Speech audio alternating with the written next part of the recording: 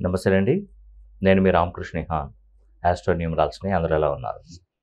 ఈ వీడియోలో నేను చెప్తున్నటువంటి రాసుల కష్టాన్ని చూసి ఆ భగవంతుడు కనికరించాడు ఇక వీరి దశ తిరిగినట్టే. ఓ విధంగా చెప్పాలంటే ఇక వీరి దశ తిరిగినట్టేనండి. ఇంకే ప్రాబ్లం ఉండదు. మరి ఏ రాసులకు ఆ భగవంతుడు కనికరించాడు అనేది తెలుసుకోవాలి. నేను ప్రత్యేకంగా ప్రతి వీడియోలో చెప్తుంటాను తులారాశి వారికి ఎంతో అదృష్టం కలిగింది. ఎన్ని వీడియోలు తీశాను తులారాశి గురించి. నిజంగా తులారాశి వారు పడుతున్నటువంటి కష్టాలు అన్నీ ఇన్ని కాదండి.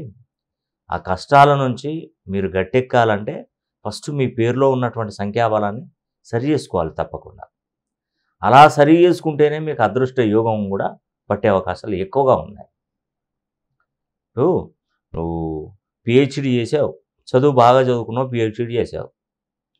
నువ్వు పిహెచ్డి చేసిన తర్వాత ఉద్యోగానికి అప్లై చేస్తేనే కదా నీకు జాబ్ వచ్చేది.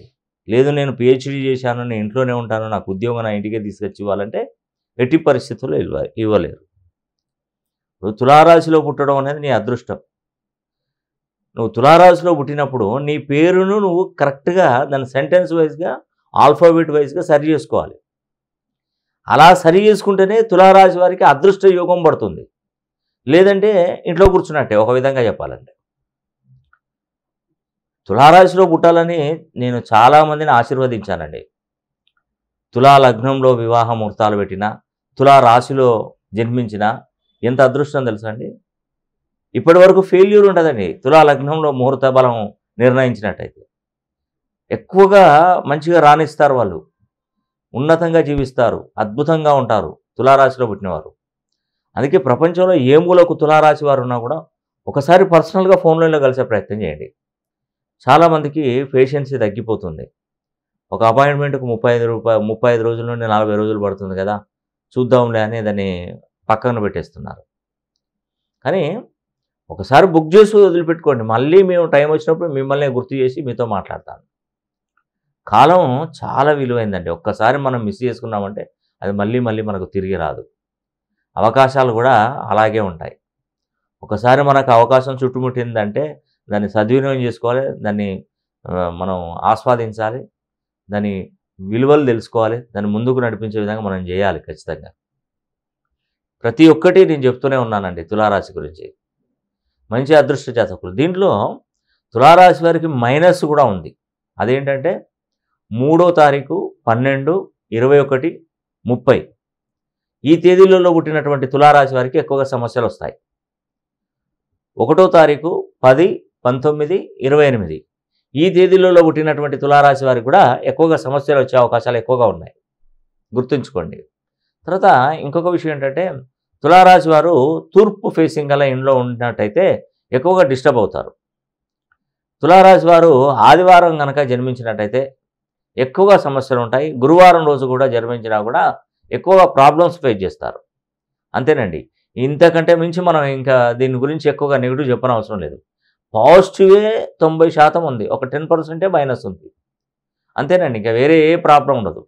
తర్వాత మేషరాశి. ఇప్పుడు ఈ రాసుల కష్టాన్ని చూసి ఆ భగవంతుడే కనికరించి వీరికి మంచి మహర్దశను కలిగించాడు.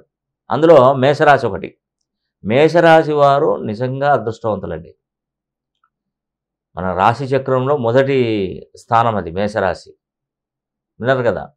ఈ మేషరాశిలో పుట్టినటువంటి వారు ఎంతో అదృష్టవంతులు దీని ధనుస్థానం అంటారు మేషరాశి.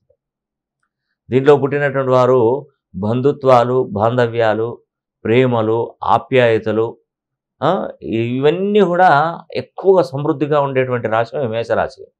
ఈ మేషరాశిలో పుట్టినటువంటి గుణగణాలు ఏంటంటే ఇతరులకు అన్యాయం చేయరు హాని తలపెట్టరు వీళ్ళు మేషరాశి వారు. వీళ్ళకి మెయిన్ సమస్య ఏంటంటే ఫైనాన్షియల్గా ఒడిదొడుకులు ఎక్కువగా ఉంటాయి. దీని మీద నేను పెట్టుబడులు పెట్టారనుకోండి ఆ పెట్టుబడులు నష్టాలు జరిగే అవకాశాలు ఎక్కువగా ఉంటాయి. పార్ట్నర్షిప్ వ్యాపారాలు చేస్తే కొంతవరకు నష్టమే జరుగుతుంది. ఇట్లా ఎవరినైతే కూడా తొందరగా నమ్మేస్తారు. ఆ నమ్మకం అనేది ఎప్పుడు ఎల్లవేళలా పనిచేయదు. కొన్ని కొన్నిసార్లునే నమ్మాలి నమ్మకం అనేది పనిచేస్తుంది. ఎక్కువగా మిమ్మల్ని మోసగించినటువంటి వారు ఎక్కువగా ఉంటారు. మీరున్నంత నిజాయితీగా ఎదుటి వాళ్ళు ఉండాలని కోరుకుంటారు. కానీ ఎదుటి వాళ్ళు ఉండలేరు అలాగా.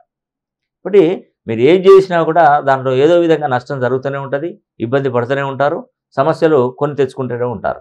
అందుకే నేను చెప్తున్నాను మేషరాశిలో పుట్టినటువంటి వారు నేను కొన్ని కొన్ని విషయాలు విశ్లేషణ అన్నది కూడా ప్రత్యేక కథనాల రూపంలో కూడా నేను కొన్ని వీడియోలు తీయడం జరిగింది.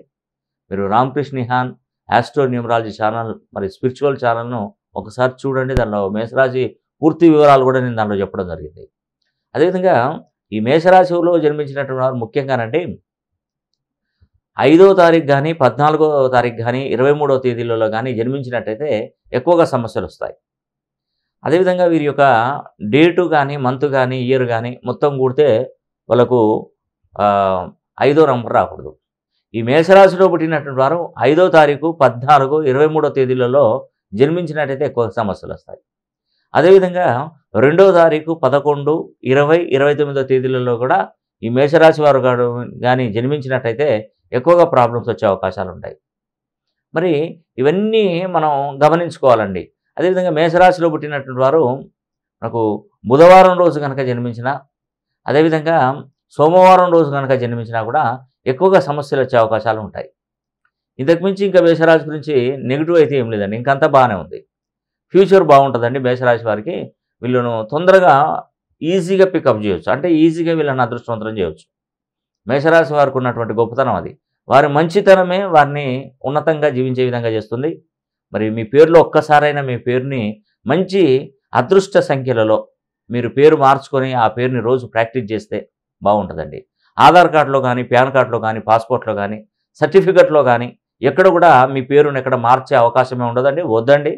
జస్ట్ మీరు నోట్బుక్లో రాయండి రాసిన తర్వాత మీకు బాగా అనిపించింది మీకు అనుకున్న పనులైనాయి ఉద్యోగం దొరికింది వ్యాపారంలో మంచి లాభాలు వచ్చేసాయి ఇంట్లో ఆర్థికంగా నిలదొక్కున్నారు ఇంట్లో శుభముహూర్తాలు శుభాలు శుభాలు జరిగాయి అంటే ఏదైనా వివాహాలు చేయడం కానీ ఏదైనా ఫంక్షన్స్ చేయడం కానీ మంచి మంచి ఫంక్షన్స్ శుభాశిస్సులు ఎక్కువగా భగవంతుడి దయతో మీకు లభించాయి.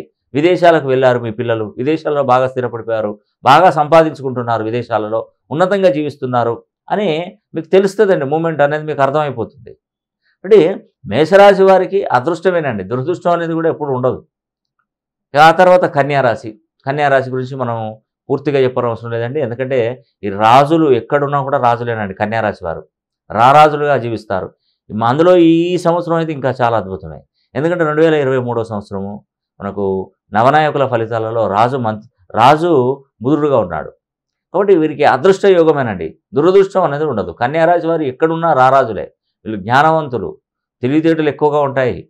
ఏ పనినైనా సులువుగా చేసుకునే సత్తా వీరికి ఉంటుంది ఏదైనా కూడా ఎంత జటిలమైన సమస్యనైనా కఠినమైనటువంటి సమస్యనైనా వారు తప్పకుండా వాళ్ళు దాని రూపుమాపి మంచి అదృష్టవంతులుగా తయారు చేసుకుంటారు.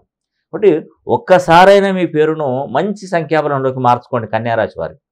మీకు ఈ సంవత్సరం మళ్ళీ అరవై సంవత్సరాలు కావాలి. ఇలాంటి యోగం దక్కాలంటే ఇలాంటి అద్భుతమైనటువంటి శోభకృతు నామ సంవత్సరం రావాలి. అందులో రాజే మళ్ళీ మీకు అధిప రాజు బుధుడుగా ఉండాలంటే మళ్ళీ అరవై సంవత్సరాలు పట్టొచ్చు. కాబట్టి ఈ సంవత్సరాన్ని సద్వినియోగం చేసుకోండి కన్యారాశి వారు. మీకు చాలా వరకు అద్భుతమైనటువంటి మేలు జరుగుతుంది. ఇకపోతే చివరగా సింహరాశి అండి. ఒకటి తులారాశి రెండోది మేషరాశి మూడోది కన్యారాశి నాలుగోది సింహరాశి.